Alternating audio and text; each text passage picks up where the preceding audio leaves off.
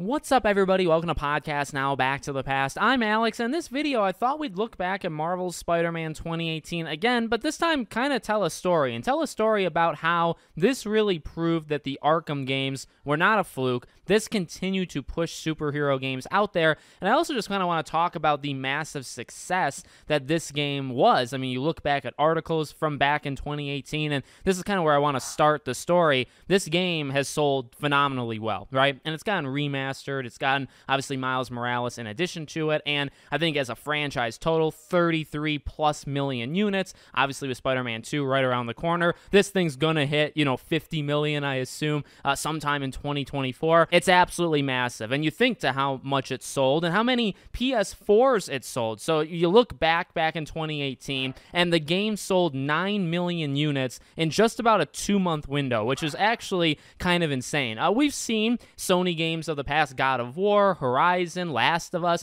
as being games that maybe start really, really strong. And yeah, they do incredibly well. This game not only started strong, it continued strong, and it never really let up for kind of years. Same thing actually happened with Miles Morales. When that game came out, it did pretty good. Not as good as I think some people thought it was going to do, but that game just kept chugging along, and in my opinion, really sold PS5. People were waiting to get that game until they got a PS5. Once they got the PS5, they got Miles. I think it was a little bit of a mix with Spider Man 2018 where many people already had PS4s. I think by the end of that two month kind of cycle of Spider Man, the PS4s had sold 91.6 million units. And in that time frame from September to November 25th, 2018, there were 5.6 million PS4 sold. And now, again, remember, 9 million copies of Spider Man, 5.6 million PS4 sold in that time. Obviously, there were bundles and there were probably discounts of Black Friday and whatnot, but the game did insanely well.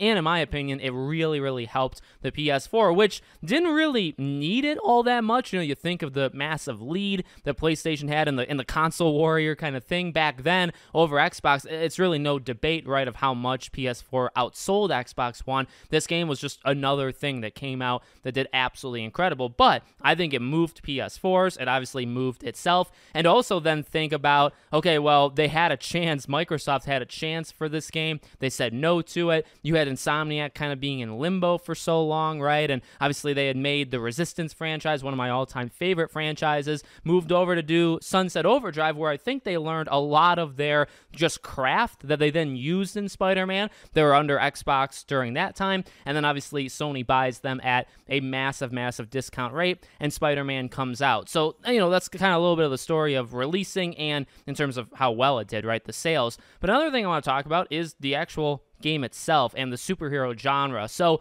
I mean, I remember 2018 really wasn't all that long ago, but how about we go back to Batman Arkham Asylum? And I can actually attest to this. I mean, I was obviously younger, as I'm sure many people were, but, you know, I wasn't in the gaming journalist kind of movement. I, I didn't know too much about games, but I did know enough to think that, okay, Batman Arkham Asylum changed so much. And even though it didn't sell 20, 30, 40 million units, it wasn't a Red Dead Redemption, it wasn't a Call of Duty game, it wasn't these things. What it did for the entire genre can't really be oversaid, right? Before then, obviously, we kind of had some hit or misses. There were some great superhero games before, there were a lot of terrible ones, but also ones that took it very seriously and not only would have considered themselves to be a superhero game, but also just a game in general, right? Batman Arkham Asylum was a game of the year kind of contender. It's a really, really good game. It's not only a really good superhero game, but it kind of transcends that to just become okay, well, it is a superhero game, but it's taking itself seriously. It's telling kind of an original story. It's got Kevin Conroy, but but it, obviously it's using source material at least a little bit, and it's doing an incredible job. The gameplay is great, the visuals were fantastic, the stealth was great. Everything about that game, in my opinion, it was really, really good, and that changed things. That said, okay, well, we can now do that. But the issue is, after Arkham, you know, Asylum, we had City, we had Origins, we had Knight.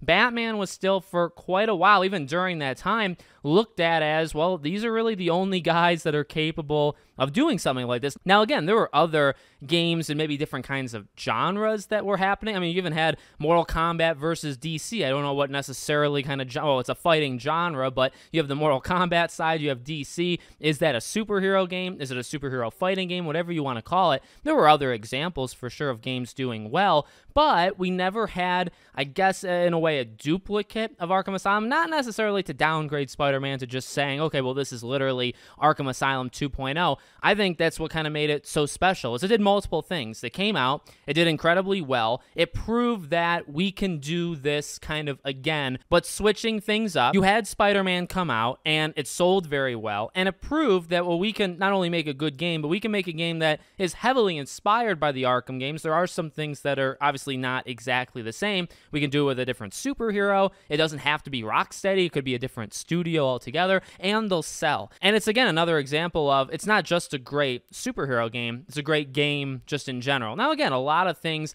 I think were borrowed over. Obviously, the free flow combat of the Arkham games have become a staple in the industry. It's hard to kind of get away from that. And then you can kind of connect the dots to say, well, when was the first time this all happened? Arkham Asylum is really when it was put together, right? And then all the games kind of took from it. But Spider Man is different, right? So instead of certain ways of traversing with Batman, obviously with Spider Man, you're swinging around. Um, in some ways, I think Spider Man is better than the Arkham franchise. And in other ways, I think the Arkham franchise is better than Spider Man. But that's kind of, I don't want to pit the two against each other. The point of this video is really saying it's possible to constantly be doing this. I don't know if you need them like once a year or, you know, every year and a half or two years, but you can make these big open world games that are using source material that also maybe are telling their own unique story. A similarity, I guess, between them as well is they're kind of experienced, right? So when you think of Batman in the Arkham universe, obviously he's been doing it a while. This Spider Man, I think seven or eight years in the first game, so he had been doing it for a while. So there's plenty of similarities. Stealth, although stealth is obviously a little bit different, combat, attention to lore or characters, there's a lot there. And I think it was really important that Spider Man happened because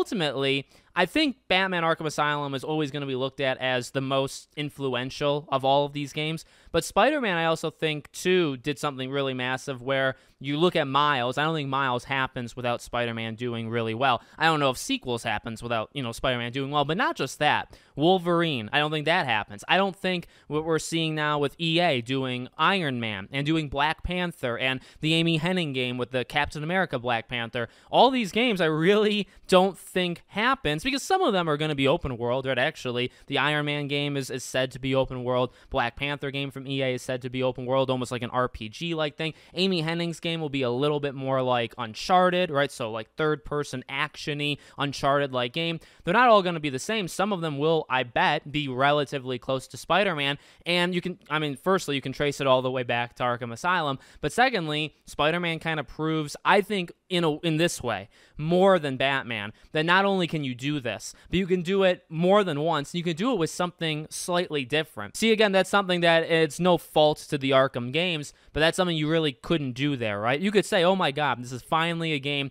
that transcends that like little tagline that it has, where it's a superhero, you know, genre game. It's not just that, but it's a great game." It did that, and it made many, many marks on the industry. But Spider-Man coming in, I think, proved to the rest of the industry that okay not only did the Arkham franchise or formula, not only is it been proven to work by them, we'll do it, we'll make it work, and we'll make it work with a different character. I mean, Marvel versus DC, I suppose, but literally we're just do a different character. You obviously have to breathe your own life into it, and Spider Man's going to be different than Iron Man, which is going to be different than Batman, but it can work. And then what did Spider Man then do? It then proved to EA, obviously, who picked up on it. Now, that's not going to stop the Marvel Avengers of the worlds, you know, from happening, but it gets you these Black Panther games eventually. It maybe even influenced the idea to do Guardians of the Galaxy. Again, very much more linear story. I actually think Guardians of the Galaxy is a phenomenal, and this is the Eidos Montreal one, super, super good game of the year contender for sure.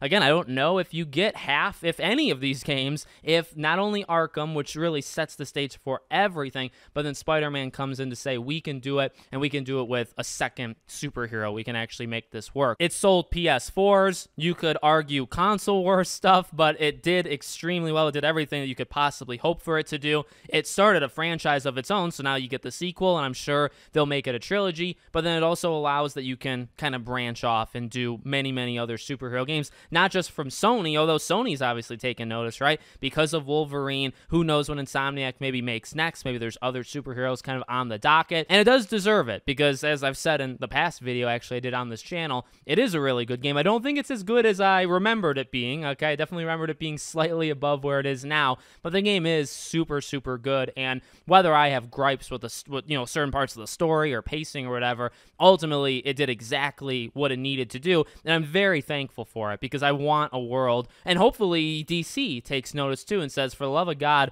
why haven't we been doing more Arkham stuff? We we then did uh, Gotham Knights, we then did Suicide Squad, Kill a Justice League, Wonder Woman, probably getting back to the roots of what the Arkham universe kind of is. So hopefully they're picking up on it too and saying, well, we started this. Spider Man's almost kind of ending it, but we can keep going. So while, you know, obviously, again, EA of the worlds and all them, they're doing more superhero games, maybe we jump back into the DC side and maybe we do more kind of inspired from Arkham. Hopefully, it's a win win across the board. It doesn't matter Marvel versus DC, any of that garbage. It's literally you're going to get more superhero games. And ultimately, two games kind of did it. It's, it's because of Arkham Asylum that started everything, and it's because of Spider Man for kind of showing the world that it works more than once. So let me know what you guys think in the comments. Make sure, as always, you're subscribed to the channel, bell icon turned on so you know all these videos go up. And I hope to see you all on the next one.